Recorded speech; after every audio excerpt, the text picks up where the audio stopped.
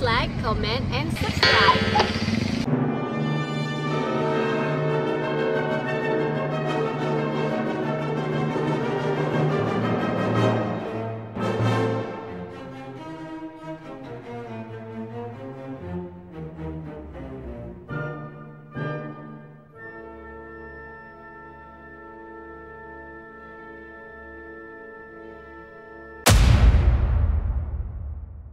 Sembilan delapan eh 2008 2009 Itu- ruginya gede juga.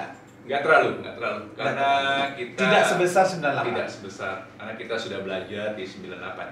Oke. Jadi pembelajaran 98 itu sangat mahal. Hmm, hmm. Jadi untuk pulih kembali setelah krisis moneter itu berapa tahun Mas Tony? Dari tahun berapa nih? 98. Yang 98 tadi saya sebutkan, kurang lebih 10 tahun. 10 tahun Iya. baru kembali stabil. Iya, ya enak lah, udah enak gitu. Jadi nggak bisa instan setahun dua tahun tiba-tiba kaya lagi Nggak gitu bisa, ya. Nggak bisa. Nah sekarang gimana usahanya dengan krisis apa nih pandemi covid bisnisnya jatuh juga nggak?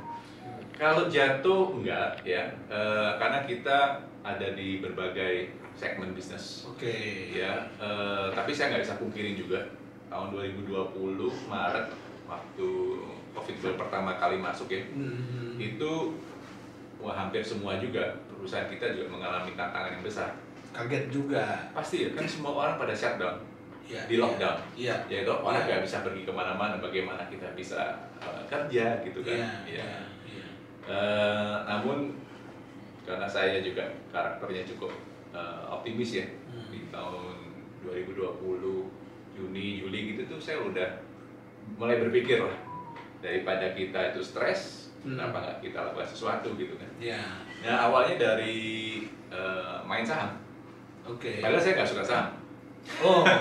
Oke. ya oke gitu ya Hmm. Eh, bukannya yang saya suka trade hand enggak saya anjurkan kepada teman-teman waktu itu dia orang tanya apa yang ba- baik gitu Hmm. Hmm. saya cuma hanya bilang ya itu saham karena indeks kita sangat-sangat rendah sudah mencapai 5.300 kalau nggak salah Oke. Ya. Jadi time for buying. yes, yes. Karena lagi murah-murahnya. betul betul nah, namun kan begini karena eh, saya punya pengalaman yang 98 yang cukup pahit itu Hmm. jadi saya punya golden rule juga Oke. ya pastinya juga dari eh, orang tua saya bapak Iya. saya juga orang yang cukup eh, prudence diajarkan kepada kita bahwa kita nggak jangan jangan hutang terlalu besar ya Hmm. jangan ada sifat yang namanya greedy atau spekulatif Oh. nah ini penting saya sarankan sama teman-teman beli aja saham Hmm. tapi yang blue chips ya dan sifatnya itu investasi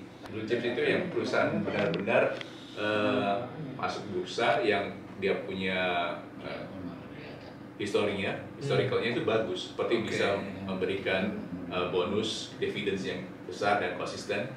Ya eh, kita bisa melihat dia orang punya kinerja kok. Oke. ya eh, ya saya nggak mau sebutkan perusahaan A B C dong. Nanti Iya, pikirnya iya. saya ini disuruh endorse. Apa ya. Eh, banyak kok. Kita Yang tinggal- relatif stabil lah ya. yes dan eh, market capnya yang besar. Marketnya Mm, besar. Fundamentalnya besar dan dia sudah eh, berbisnis ataupun IPO udah cukup lama Hmm. ya Eh, Tapi di samping di samping saham, Mas Tony juga ngembang usaha di bidang lain ya. itu belum jadi Belum, tahun ya? 2020 eh, karena kita masih juga nggak jelas sih masih belum jelas ini Hmm.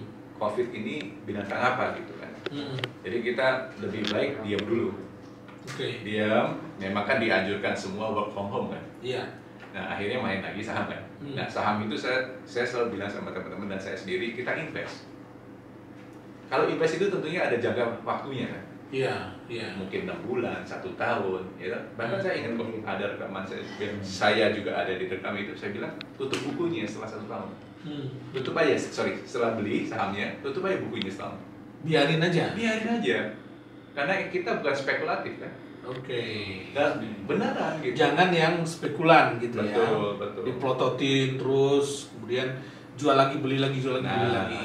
ya walaupun saya nggak bisa bilang itu salah ya itu kan Iya. trading ya Iya. tapi sekali lagi kalau kita mau aman eh, memitigasi kita punya resiko ya tentunya kita jangan spekulatif gitu Oke. ya ya Mm. Gede nggak untungnya? Eh lumayan. Tergantung dari berapa yang diinvestkan. Betul, betul. Itu ada ada untungnya sampai 70 persen. Oh ya? Ya, 100 persen ada. Hmm, Tapi kan setahun. untuk setahun. Iya. Dan Ya lumayan dong daripada simpan sangat lumayan. ya sangat simpan lumayan. di yang nggak nyebut bank simpan di bank gitu kan. Eh, iya. Kan rendah sekarang. Ya iyalah. Ya. Iya. Nah, tapi di sanalah eh, waktu sudah jalan satu tahun, baru saya berpikir ini kalau kita pesimis terus, pengusaha, kan juga tidak baik. Hmm. Nah, pemerintah juga harus dibantu lah.